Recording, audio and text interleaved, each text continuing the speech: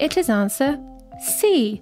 Yes, it needs four to six stones. Mrs. Santa can push the uppermost domino just under halfway out over the second uppermost one without it falling down. The dominoes are each of length L.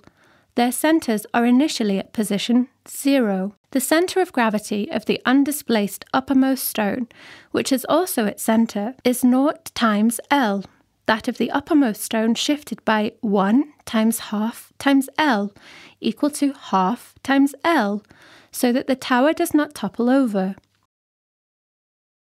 The second uppermost stone can now be moved forward by half times half times L equals a quarter times L of its length. The centre of gravity of the uppermost domino is then at half plus quarter times L equal to 0.75 times L. The common centre of gravity of the two uppermost dominoes is then at half plus quarter times L plus quarter times L divided by 2 equals half times L.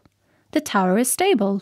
The third uppermost domino can now be moved forward by half times a third times L equals a sixth times L of its length. The centre of gravity of the top domino is then at half plus quarter plus a sixth times L equals 11 twelfths times L equals 0.9166 times L. The common centre of gravity of the three top dominoes is then at half plus a quarter plus a sixth times L plus a quarter plus a sixth times L plus a sixth times L divided by 3 equals half times L. The tower is stable. The fourth uppermost domino can now be moved forward by half times a quarter times L equals 1 eighth times L of its length. The centre of gravity of the top stone is then at half plus a quarter plus a sixth plus an eighth times L equals 25th over 24 times L equals 1.04166 times L. The stone now floats completely in front of the bottom stone.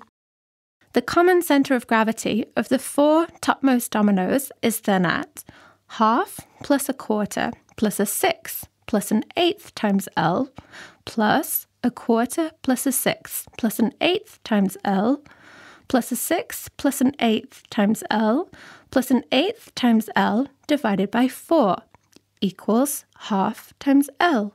The tower is stable. In this way, you can build bridges over a valley without having to build a bridge pillar under every stone or slab. How very practical! The sum 1 plus half plus a third plus a quarter, etc., is called the harmonic series. Do some research on the internet.